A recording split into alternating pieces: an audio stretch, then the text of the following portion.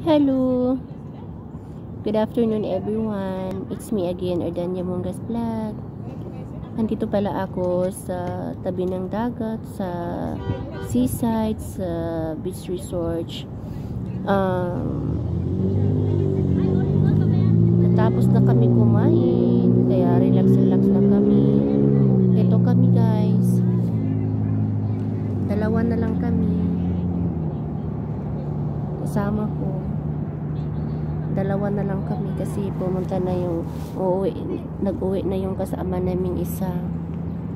Tsaka hito thanks God. Kasi nakarelax na. At saka ano going to sleep na. Hindi pa rin masadyang isipin na ano yung yung saya ng feelings na naka day off ka at ano um, naka-relax ka at nakahiga walang amo ganun. Tas ano matutulog ka na sana pero ang dami mong dami mong inisip. Yung alam niyo ba yung ano yung abuse ka sa ang tagal mong matulog hard to sleep hard hard to sleep, uh, late matulog, or katulad ngayon ba, magre-relax na sana, pero hirap,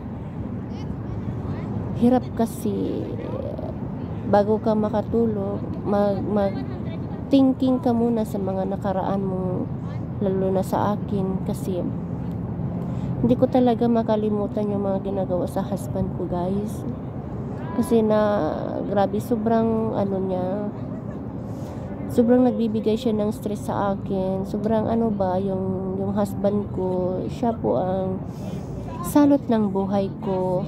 Kaya nung na live video post ako public sa FB ko sinadya ko yon para mapansin po ako na sana darating ang araw na na may peace of mind na ako na gusto kong hostisya ba? Na kasi wala nang respeto sa pagka uh, as wife niya. Wala na po siyang respeto sa akin. Parang ginagawa niya akong tanga. Kaya nga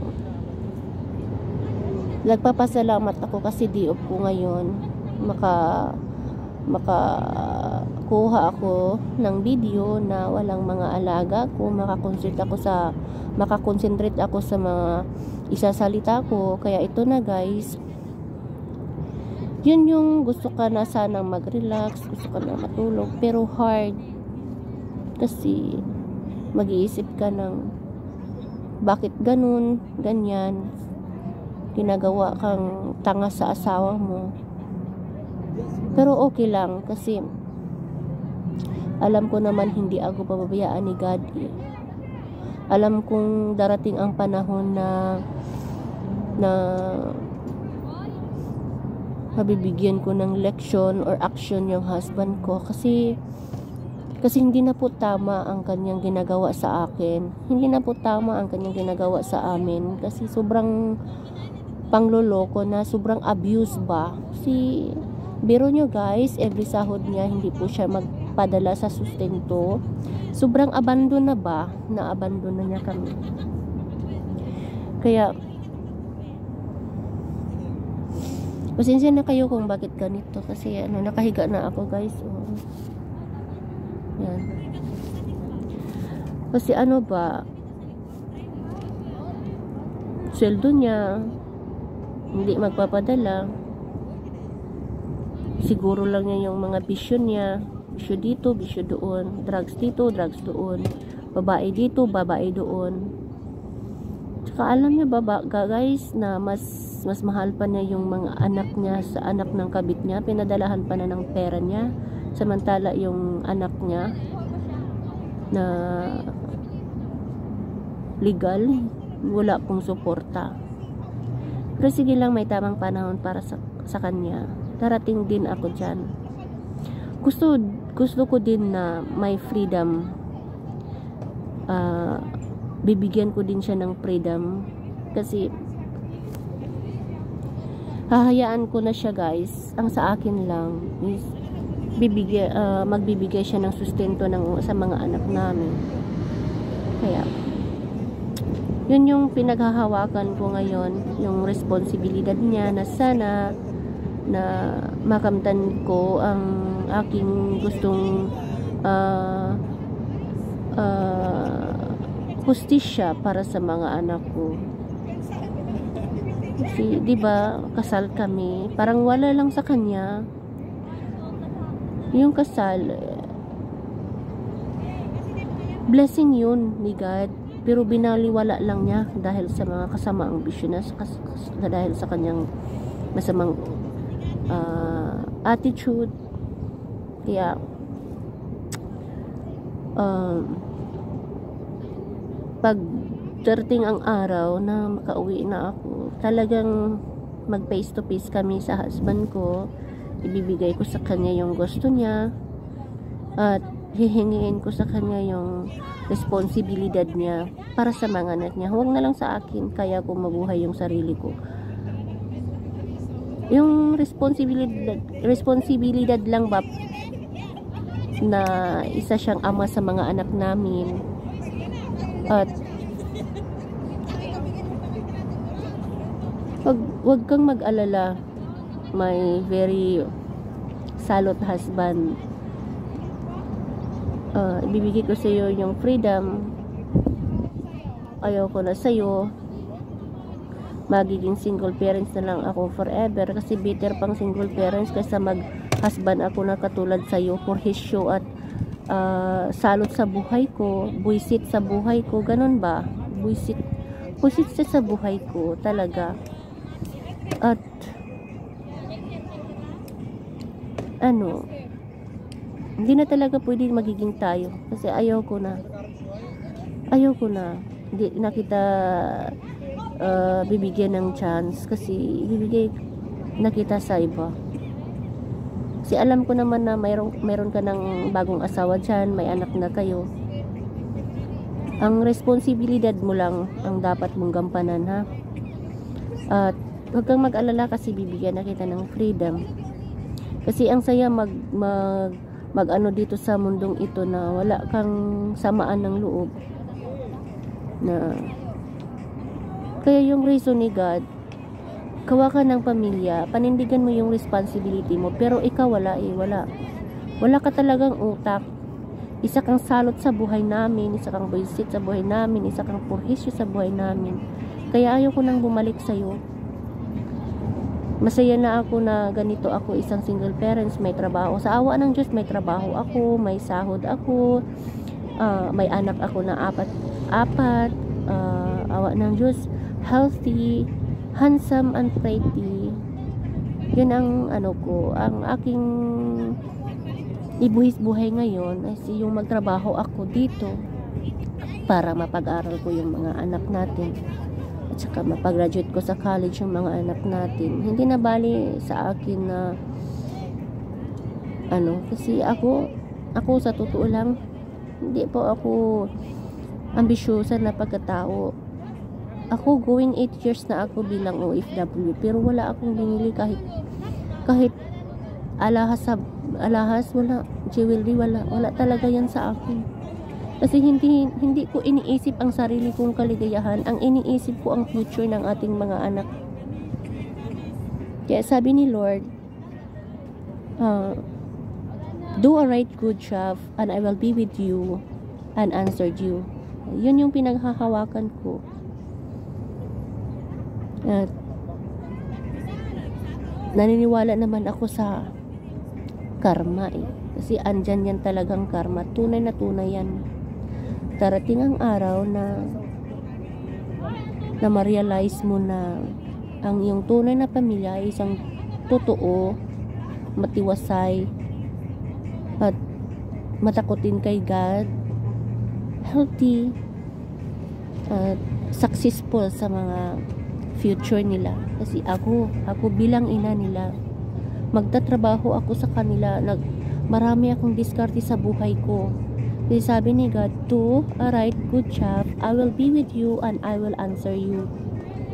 Yan, yan oh, yun ang pinaghahawakan ko kung saan man ako. Kaya, sa awa ng Diyos, dami ng mga surprise sa buhay ko na hindi ko ni-expect. Talaga, hindi ko talaga ini-expect talaga. Na, talagang andito si God sa akin. Kaya nga, darating ang araw na pagsisihan mo ang mga ginagawa mo sa amin ng ng kasalanan ginagawa mo sa amin ng mga kasalanan mo hindi ka karapat dapat sa amin bilang ama nila bilang husband ko. You're not deserve my love. So I decide myself na I will let him go forever. Saan ka masaya? Go ka. Wala kaming pakialam sa'yo. Sa akin lang yung sustento mo. Pag uwi ko, aayusin ko talaga yung problema ko sa'yo para may magkaroon ako ng peace of mind. Yan yan. Yan yung palaging iniisip ko bago ako matulog, bago ako matulog, mag-pray ako na magkakaroon ako ng peace of mind. Hindi ako magkakaroon ng peace of mind talaga kung hindi tayo magkausap ng masinsinan at uh, hindi ka mag ano sa mga anak natin. Kasi responsibilidad mo yon wala akong pakialam kung meron kang mga marami dyan. No need na. I don't I don't need you. I, I don't care because you are dirty people na you are dirty husband na for me. If ever na na may lalaki para sa akin if God's will na yan po ang tinadhana sa akin tatanggapin ko yun. If God's will kung siya ay para sa akin. Kasi naniniwala naman ako eh na yung sali sinasabing pinagtagpo kayo pero hindi kayo pinagtinadhana naniniwala pa rin ako sa lalaking tinatadhana sa akin. Kasi bata pa ako 40 years old pa ako. Pwede pa ako magkaanak. Kung meron mang lalaki na para sa akin tatanggapin ko yun. Yun na yun. Kasi ayoko na talaga sa'yo. Yun ang gusto ko peace of mind lang. Wala akong peace of mind sa totoo lang kasi hindi tayo hiwalay eh hindi tayo hiwalay sa totoo lang. Sabi-sabi mo lang yan na hiwalay tayo. Hindi tayo hiwalay. Ang hiwalay yung mag may annulment tayo yung may uh, permahan tayo sa sa barangay na hiwalay na tayo. Wala wala tayong ganyan. Yan yan yung gusto ko para wala tayong pakialaman. Sa yung responsibilidad mo na magsustinto sa mga anak mo. Yun yung gusto ko. Yun yung gusto ko lang.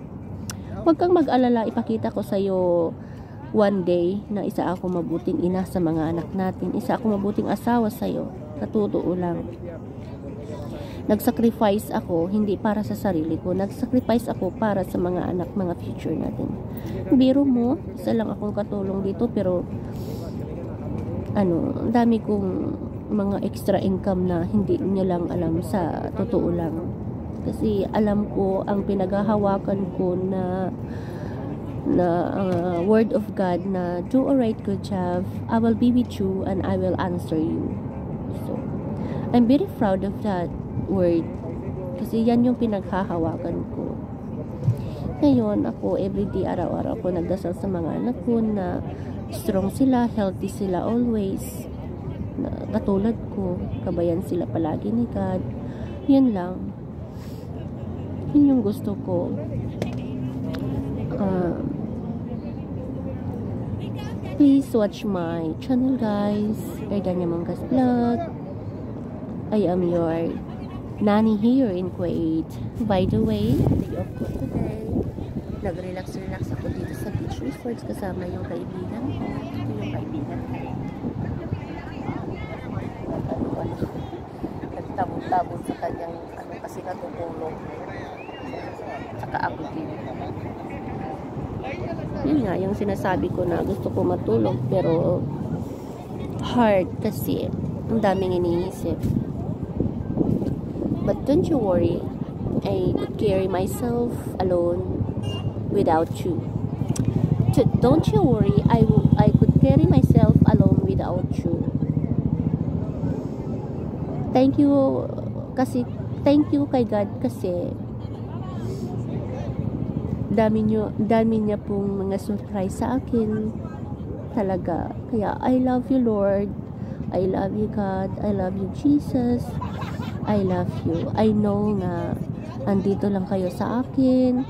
I know na uh, mahal mo ako God sa mga anak ko ah, kasi alam niyo yung mga plano ko sa buhay. Alam niyo yan. Alam niyo God. Alam mo yan God.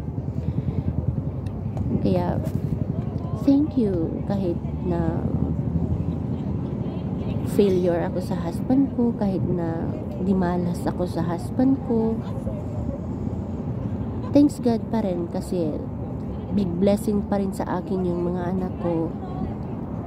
Kasi yung mga anak ko guys ay nako super super talaga. Sila yung nagbibigay ng lakas ng big inspiration ko sa buhay. Yung mga anak ko kasi talaga sila po talaga. Ang swerte ko kasi may anak ako na nag-aaral sa sa pinakasikat na paaralan at scholar pa guys. Yun yung pinaghahawakan ko ngayon yun yung pinag bibisihan ko ngayon yun yung pinag sisibingan ko ngayon sa future nila. Okay, alam kong God is with me yeah. Thank you God. I love you. Mwah.